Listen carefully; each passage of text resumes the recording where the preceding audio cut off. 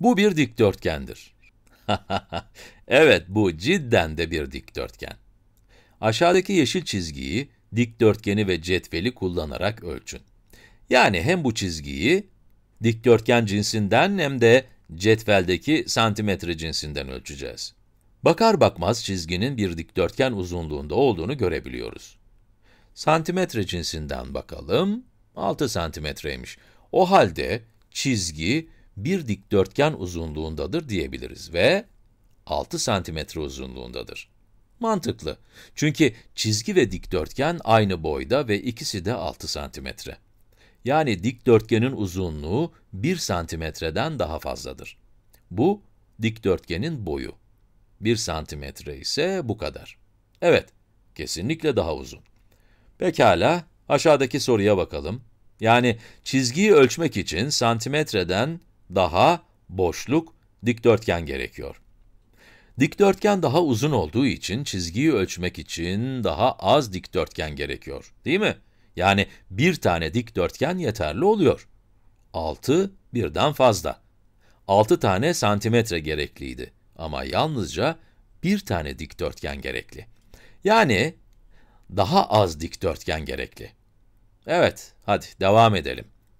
Bu bir dikdörtgendir. Evet, evet bu bir dikdörtgen. Aşağıdaki mavi çizgiyi, dikdörtgeni ve cetveli kullanarak ölçün. Sorumuz hemen hemen aynı. Burada iki tane dikdörtgen var. Mavi çizgimiz iki dikdörtgen uzunluğunda. Yazalım, 2. Santimetre olarak bakarsak, 4 santimetre uzunluğunda. 4 santimetre uzunluğunda. Her bir dikdörtgenin uzunluğu 1 santimetreden daha boşluk. Her bir dikdörtgenin uzunluğu 1 santimetreden fazla değil mi? Bakın, bir dikdörtgen aslında 2 santimetre. O halde cevabımız daha fazla olacak. Dikdörtgenlerin uzunluğu 1 santimetreden daha fazla. Yani çizgiyi ölçmek için santimetreden daha boşluk, dikdörtgen gerekiyor.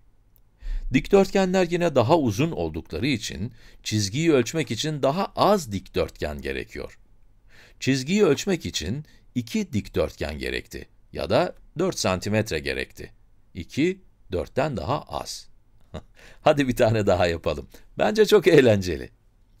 Bu bir dikdörtgen. Evet. Aşağıdaki yeşil çizgiyi ölçelim. Sorular aynı. Çizgi 4 dikdörtgen uzunluğunda ve çizgi 7 santimetre uzunluğunda. Her bir dikdörtgenin uzunluğu 1 santimetreden daha uzun.